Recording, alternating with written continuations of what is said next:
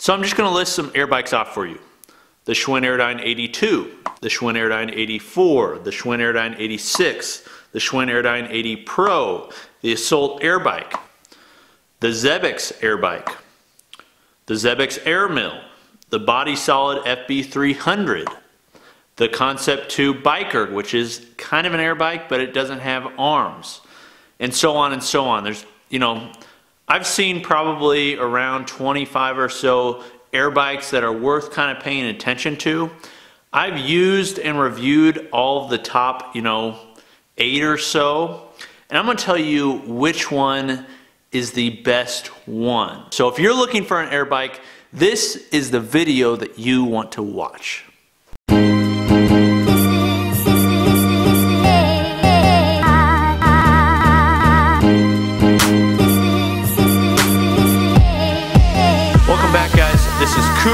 Garage Gym Reviews, and I'm excited to bring this one because I get asked all the time because I have reviewed so many air bikes. Coop, what is the one air bike that you would buy? And I'm going to answer that question for you today. So my first category is the best air bike without arms. And really there's only one bike within this category. Granted there's some competitors, you got like the Watt bike and you got some others. But in my opinion, the best overall, and this includes, you know, just like we did in the barbell video, it includes, you know, overall construction, it includes versatility, it includes mobility of the bike, it includes the monitor, it includes the durability, and also it includes the price as other factors. I've actually listed all these on, on the site in an article I did on the best air bike. So if you'd like more information than I can provide in this video, you can check that out in the link in the bio below. But the best air bike without arms, in my opinion, is the Concept 2 Bike Erg. The Concept 2 Bike Erg is Concept 2's version of their ergs like the ski erg, the rower, for cyclists. If I was just gonna have one bike, this would be the one I have, okay? It doesn't have arms, but what a lot of people don't realize is most people, when they get you know, tired whenever they're working out, they're not using a lot of their upper body on an Airdyne or an air bike, okay? They're using mostly lower body anyways. And the Concept 2 Bike Erg allows you to go from basically a spin bike without any brake on it, really light, really easy to use, to something that's very difficult, requires a lot of power output, and it's just got that versatility. Not only that, it's made by Concept 2, so you know it's going to have the awesome PM5 monitor. It's not going to require much maintenance. If any maintenance, it actually has these, you know, polygroove belts that are self-tensioning, so no longer you have to worry about chains. It's going to have their warranty, it's going to last, and it's just going to work, okay? And that's one of the great things about Concept 2. Yes, I wish they created an air bike with arms. That said, the Concept 2 Bike Erg is outstanding, okay? And so it's our top pick for the best air bike without arms. Now moving on to traditional air bikes with arms, I'm gonna start with the budget pick, then go runner up, and then give you my top pick. So my budget pick is the Xebex Air Mill from GetRx, okay? Xebex has been around for a little while. They're a company based out of China. Basically, a lot of these companies are buying these bikes from China, they're bringing them over, and they're rebranding them, okay? And I'll tell you a little bit more about that in a second. But the Xebex Air Mill, in my opinion, is the best budget-friendly bike because it's taken everything that the Xebex air bike has and it's just changed out the arms and lowered the price by about $200, okay? For the price, the Xebex Air Mill is an outstanding bike, okay?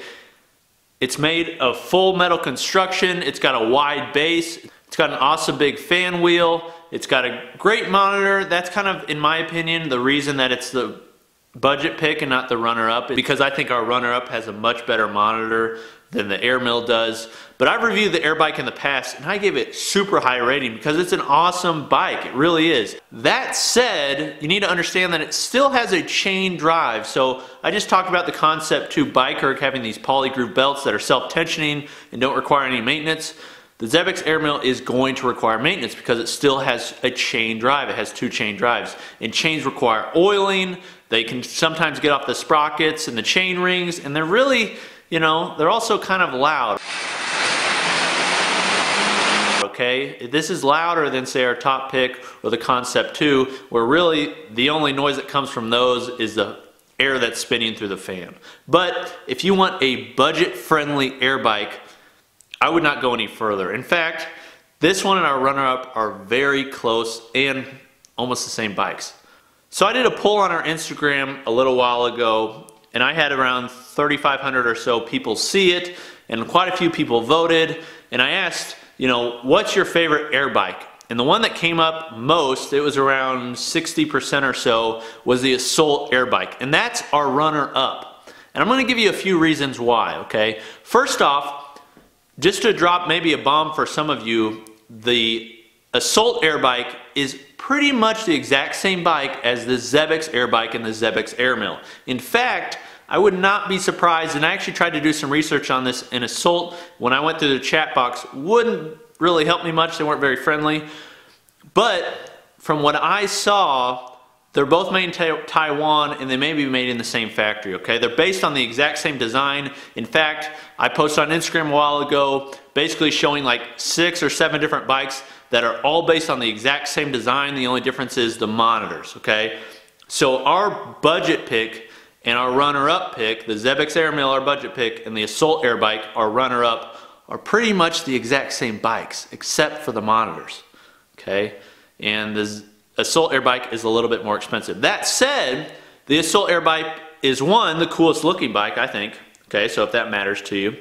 Second of all, Assault has a pretty good warranty and they're easy to find, and they're gonna have a great resale value on Craigslist or Facebook Marketplace. And three, they're used in the CrossFit Games, okay? So if you train specifically for CrossFit and want to train for the CrossFit Games, you know, there's very few people out there that actually, you know, are at that level. But that said, if you're going to do that, then I'd suggest getting the Assault Air Bike.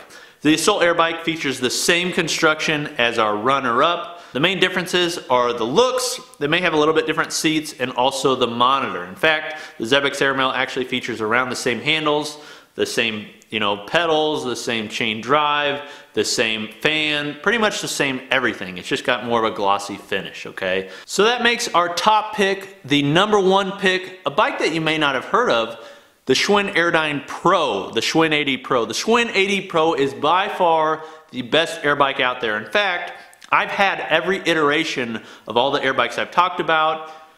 I've used all of them. I've reviewed them.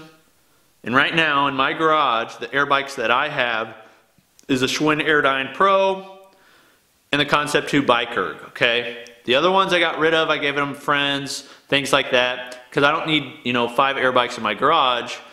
And that's really the one that I really like is the Schwinn Airdyne Pro. Not because it's a crazy better build or anything like that, but because it has a belt drive instead of the chain drive system that the Assault bike the Air Mill, and every other bike out there has. Schwinn really went back to the drawing board when they created this bike. They decided, you know, we're going to create something for the commercial market. We're not just going to make it look pretty and overbuilt on the outside. We're going to make it a true commercial quality bike by changing the internals, okay? And so they added these belt drive to the system. It's not only more responsive, but it doesn't require any maintenance. I've never had any issues and I put tons of meters on these things and I haven't had any problems with them, okay? I cannot say the same about the Assault bike or the Xebex bikes or any of the other ones with chains. Not only is it smoother, more responsive, require less maintenance, but it's also quieter. It still moves a lot of air and still makes a lot of noise, but it doesn't have like the clanking, you know, that comes from all the metal parts and all the chain, everything like that on say the Assault bike. And it's just a great bike. I mean, I love the monitor on it. I love the quality of it, moving it around. I mean, it's outstanding. It really is. That said, it's a little bit more expensive than what you're going to find with the Assault bike.